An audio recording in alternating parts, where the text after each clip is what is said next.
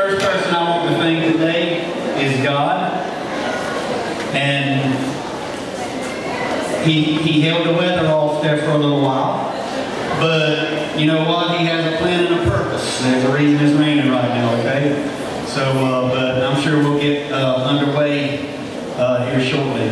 But I also want to thank um, Phil Parnell and, and his staff, Sumter County the fields ready and for all they do for this tournament. Also want to thank uh, Larry McElroy uh, for, for all he, we, I don't know if I could do this without him. He does all the scheduling and, and, and he really, he puts a lot of hours in this and, and, and uh, I'd like to thank Rob uh, also for what all he does with the t-shirts and everything.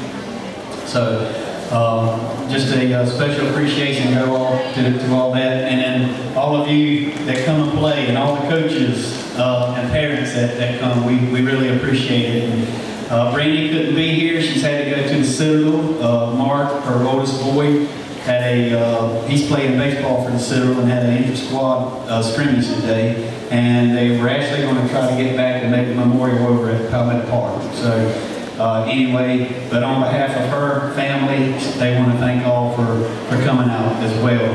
Uh, just real quick, I almost forgot to do this at the other ballpark, but uh, a lot of you uh, don't know Ashley, but you're here playing to honor her. Okay, and it's like, you know, who is this girl that, that we come and we play uh, ball to honor? She was a little girl, 11 years old, back in 2009. She played her last game over on, at Palmetto Park on field one. And just a few short days later, God took her to be home with him. She had no idea when she walked off that field that that would be her last game.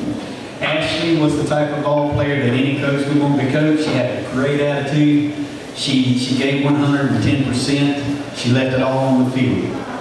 And, you know, I like to challenge each one of you, you know, every time you take the field, you don't know when it's going to be your last game. How do you want to be remembered? Okay? Apparently, Ashley did the right thing. We've got 83 ball teams here playing. It's a record number of teams playing uh, in this tournament this year, okay? And probably 75, 80% of the teams don't even know who she never got to meet, meet her, don't even know who she was. So that's leaving a legacy, y'all, okay? So always keep that in mind. Every time you take the field, how do I want to be remembered? The t-shirts you see, um, her, her name on the shirt, that was her number, number 15. Her name on the shirt is actually a signature on one of her papers from school that her mom got. We actually scanned. The handprint that you see on them is actually the handprint that the day she died, the hospital took her handprints and gave it to uh, Brandy. We scanned those as well. So when you, you know, when you get one of those shirts with, with the handprint and the name, you're, you're taking a piece of Ashley home with you. So anyway, I'm not gonna I'm not gonna bore you to death and keep talking. Um, we are honored, very honored today to have a very special guest who's become a very good friend of, of mine that we don't get to see each other a whole lot at all. But we are very honored to have a three-time Olympic gold medalist in softball, Leah uh, Amico.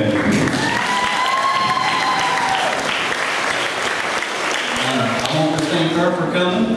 And she's got something she wants to share with you, and, and she's going to touch your heart with it, okay? So, Leah. All right, well, I'm honored to be here with all of you, and also very thankful for Jeffrey Bays, as well as everyone he talked about that truly makes event happen. I think it's awesome. We play a lot of softball. I know I grew up playing all the time from Southern California. How you girls are playing all the time, but this, this weekend you're playing in honor of somebody. And I think that's uh, the difference that a lot compared to a lot of other tournaments that you can play in, just that reminder of really that tomorrow is not guaranteed to any of us. And that what we do today does matter and does make a difference. Let's go ahead and uh, let's pray real quick and then I'm going to share a few things, all right? Father God, we just come before you. Lord, I ask for your Holy Spirit to fill this place. I ask for your presence to be felt among all of us, Lord God. I thank you for your truth, your word, Lord God, that is life-giving. I pray for every single person here to literally just hear you knock on the doors of their hearts or encouraging those that are your children already, Lord God, to just continue to live for you, for your glory, Lord God, that um, tomorrow isn't guaranteed, and one day we all, all will stand before you. Pray that we'd be welcomed in, Lord God, because of what Jesus has done. So we just give this time to you in Jesus' name. Amen. Amen. All right, girls, I know that I'm in South Carolina. I live in California, and it's not always so popular to just go talk about God. And, um, I, I'm thankful for parts of this country that still have just that excitement and the freedom. I think sometimes um, we can kind of go through the routine and, and go through the motions. Um, you know, I think that if we were to compare, uh, you know, the, the time we put in with God and our relationship for Him and, and getting close to Him and starting to learn the Bible and uh, memorize verses. I know a, a, number of people in this area, just from talking with Jeffrey and some other people, a number of people go uh, to Christian schools, so they're getting that at school as well. But I think the biggest thing I want to encourage all of you is that, that it would never just become routine, that it would never just become going through the motions. Because how many of you um, think softball would be fun if, if we just kind of go through the motions? You know, I, I, think these coaches, they put a lot of time and effort into, into working with you girls. But you know, I did a little bit of coaching, and I'll tell you, if, my, if I'm out there working hard and my girls are just like, oh, well, just another ball, oh, well, I don't really care. Then all of a sudden that changes everything. That changes the results of what you're doing on the field. That changes um, the atmosphere and the people around uh, the excitement that happens from it. And so I just want to encourage you that first of all, God has a team. That we are on his, his team if we are his children and if we are the body of Christ. And girls, I'm very passionate about sharing about that because you know, as a little girl, like I believe in Jesus, and when I was your age, I'd be like, oh yeah, I'm a Christian. But if you would have started talking to me about my faith, and if you would have questioned me, like, hey, tell me about your faith, and tell me about who is Jesus, and and you know, what is he doing in your life, and you know, what verses are really standing out to you, and you know, do you study? And, and I would have been like, yeah, I don't know, I'm just a Christian, you know? And I encourage you to start to say, God, work in my life. Show me what you have for me. Because our God is so big. I learned eventually that if I just wouldn't have made up my own kind of views and beliefs, because here's what happens. How many of you are in high school? Is everybody in high school yet? Okay. How many of you are Okay, so this is kind of the age. But here's what happens. There's a lot of different voices out there. You see, there's the truth, the Word of God that we stand upon, the Bible, that God tells us this is how to do my will. These are the things that are the fruit of my spirit. If you, if you're my follower, if you're my child, you're gonna be, you're gonna be filled with the Spirit. Therefore, you will produce fruit. The fruit of the Spirit is love, joy, peace, patience, kindness, goodness, gentleness, faithfulness, self-control. I had no idea about all that. Because I did try to be a good person. And I did believe in God, and I heard Jesus died on the cross. But here's what I want to encourage you today. Jesus did not die for us to just be like, yep, I'm a Christian. I'm good, good with you, God. He died so that we could transform the world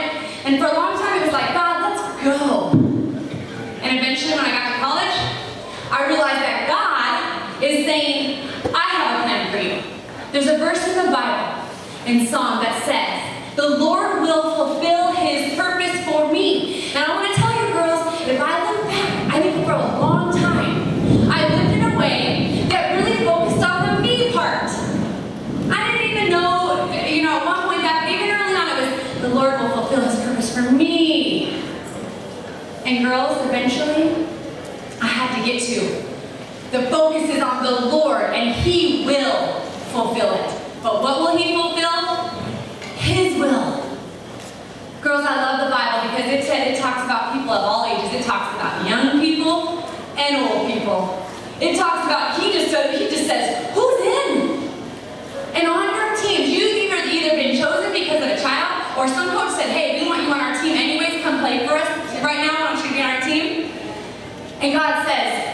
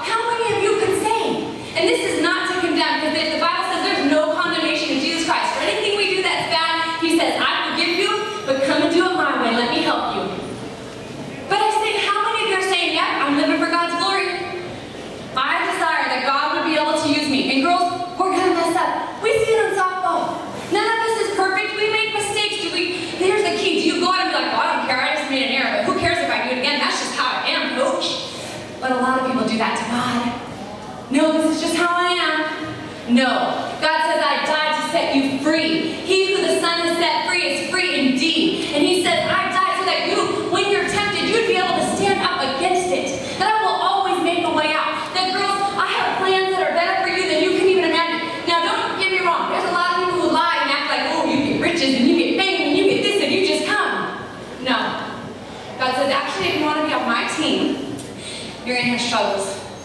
People aren't going to like you. You're going to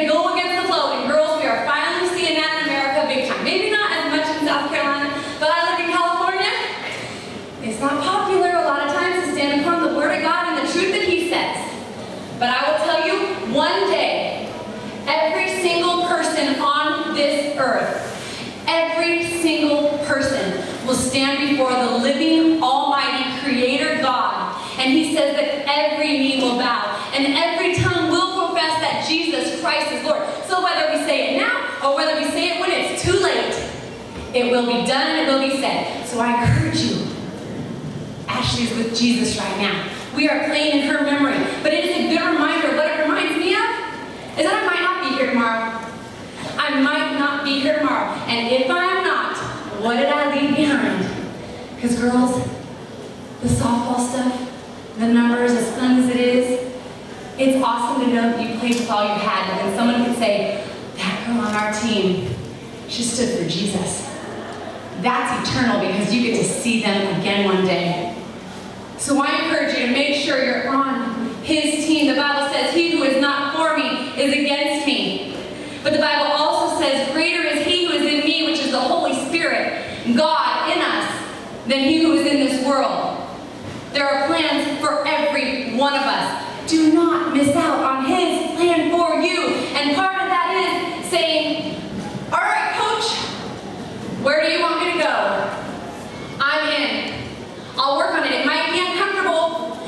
on my but I don't think this is going to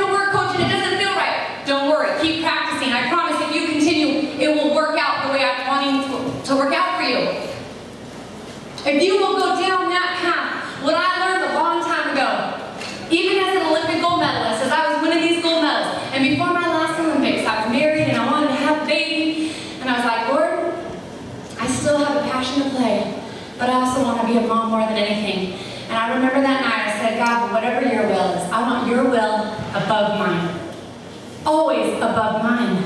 Jesus did that when he sat hung on that cross for all of us. And girls, there were two thieves on the side of Jesus on that cross that hung. And they both had the choice to make. That's all of us. When I was reading that story, a lot of times we'll hear it on Good Friday when Jesus hung and, and died. But there's two. There were two. And here's the difference. We're all guilty. We all deserve the punishment. But then Jesus says, All right, I'll remember you. He tells that thief who finally recognizes, I, I messed up. And he says, All right, I'll remember you in paradise. So I pray that each of you would go into your heart and say, God, am I on your team? Am I on your team? And all that means, girls, is saying, I want to follow you. I give up my way. I surrender all. I know I cannot work my way to heaven because my good works could never get me there. Only what Jesus did on the cross for my sins, only the blood that was shed for me. There's these verses I think of when I think of all of us coming to the end. Okay? And it's in it's in 2 Timothy. And it was the Apostle Paul. And he said in, in 2 Timothy 4, 7 and 8, he says, I've fought the good fight. I have finished the race. I have kept the faith. Now there is in store for me the crown of righteousness, which the Lord, the righteous judge, will award to me on that day, and not to me only, but also to all who have longed for his appearing. Girls, I got three gold medals placed around my neck, and it was pretty, pretty awesome. But as great as it was to represent the United States of America, it was completely a bigger deal for me to be on that field next to my teammates, for them to know that I stood for Jesus, for them to know that I was praying for them, that I loved them, that even if they had different views, that I would pray that one day they would turn to Him, that I would be an example and encourage all of them. And what that looks like is eventually we realize it's not about us, but it's all about others. It's about being that teammate when your teammate, teammate gets on that you're thinking, okay, how am I going to get them home? That's bigger. That's bigger at the end of the day. And you know, we're all girls. Sometimes we can be like, you know, like she made me mad, or we can like talk about people. God's saying, I died for that stuff. Just let that go. Honor me above all else. Make a difference because tomorrow you might not be here. And the last thing we want is that we would leave memories that are not about Him. And He's bigger than all that, and He forgives us, like I said. But no, only one team wins in the end. And it's those who have chosen Jesus Christ and what He did for them. And that's it. That's where the victory lies. That's eternity. And that's the people that get to see Ashley again. Are the people who stand with Jesus, for Jesus, on his team. Okay? Let's just pray to close, and then if any of you guys want to come up and see the medals and take pictures and you know whatever, we can we can chat then. Or if you have any questions about the Olympics or Jennie Finch, because I'm sure a lot of you know who she is. She's my good friend. So, all right, let's pray. Father, I just thank you so much for this time, I pray for everyone here. I love that you're a personal God, and that anytime we share the truth, Lord God, or the, the Bible gets read or talked about or opened, God, that it is living and it, and it, it speaks to us. And so I pray, Lord, that they would realize this is not of me, this is completely of you. I don't get honored, Lord, you do. And so I pray for everyone here that they would recognize how quickly life can be gone, and that wouldn't bring a spirit of fear, but like your word says, it would bring a spirit of power and of love and sound mind, and that they would be filled with, Lord God, just this fire and this passion, bigger than the field that they play on, but Lord, ultimately for you, that you would work out plan, you would fulfill it that you have for every one of them, and that they would be coachable. They would be moldable. They would be willing to do whatever it takes, Lord God, to stand firm upon who you say they are. And Lord God, that every one of them would know how much you love them. And so we just give this time up to you. In Jesus' name we pray. Amen. Thank you, guys.